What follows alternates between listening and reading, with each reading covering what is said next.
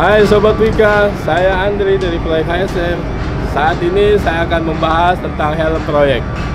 Helm proyek setangguh apa sih menahan kepala kita? Sobat Wika sendiri tahu bahwa helm proyek wajib digunakan di area proyek. Saat ini ada tiga helm berbeda yang akan kita tes melalui drop test, tes beban, dan melalui benturan. Nanti kita akan lihat Baik, sekarang kita akan tes dari ketiga helm ini mana yang lebih kuat. Kita akan tes drop test yang akan diperagakan oleh saudara Fijrin.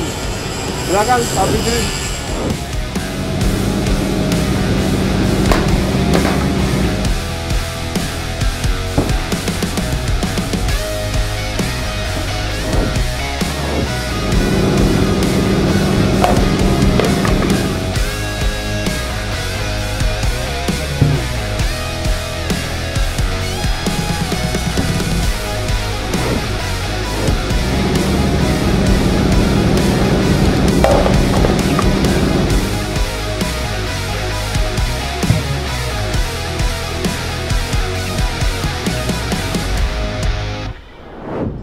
Oke, ini hasil drop test kita tadi ya. Yang putih cuma lecet sedikit ya di atas kepalanya ini.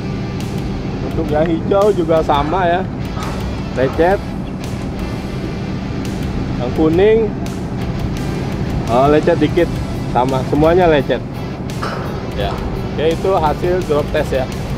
Oke, selanjutnya akan kita lakukan tes tekan helm yang akan diperagakan oleh uh, Mas Ruby. Ayo Mas Ruby silakan. Oke. Okay. Mas Ruby berat badan berapa? 72 kilo. Silakan. Sudah.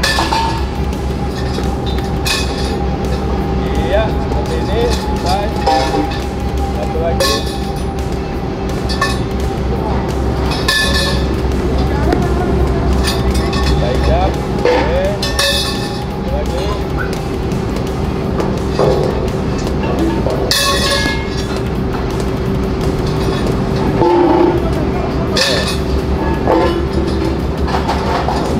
Dari hasil pengetesan tekan ya, tidak helm tidak berubah ya, masih tetap semua masih sama. Nah, ini juga masih sama ya, kekuatannya jika dites dengan tekanan. Oke, untuk berikutnya akan kita lakukan tes benturan. Helm akan dibenturkan dengan suatu benda dari ketinggian. Metode benturan uh, akan kita gunakan beban besi seberat lebih 3 kilo akan dilepas dari ketinggian 4 meter.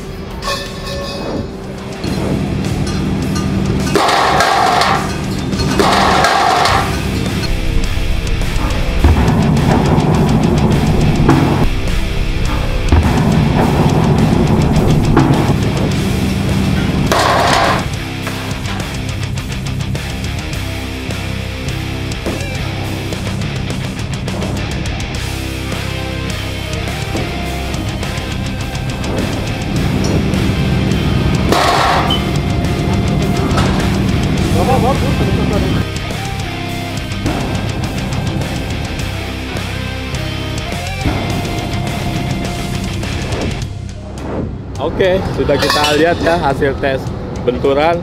Ini untuk yang helm A. Ternyata yang helm A cuma lecet aja ya, sedikit nih kulitnya. Dan ini semangka yang kita ibaratkan kepala kita ya, aman. Aman nih dari benturan ya. Untuk yang B, bisa kita lihat langsung bolong ya.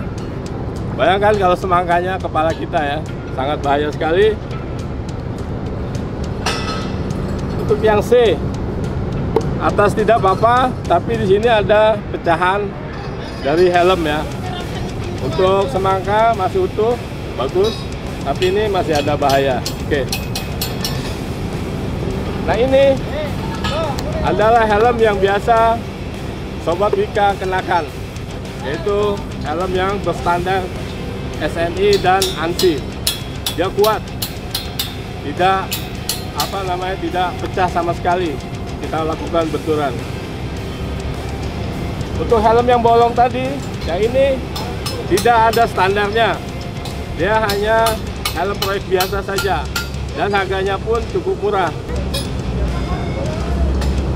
Ini yang kuning standar tapi bahan masih kurang bagus karena masih bisa pecah ya. Ini bahaya juga kalau kena mata atau kulit muka ya. Bahaya. Jadi yang paling bagus adalah yang ini. Ini biasa proyek Wika kenakan.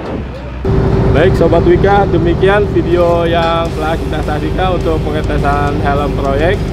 Jadi semoga ini menjadi pengetahuan buat Sobat Wika dan insan Wika sekalian. Terima kasih.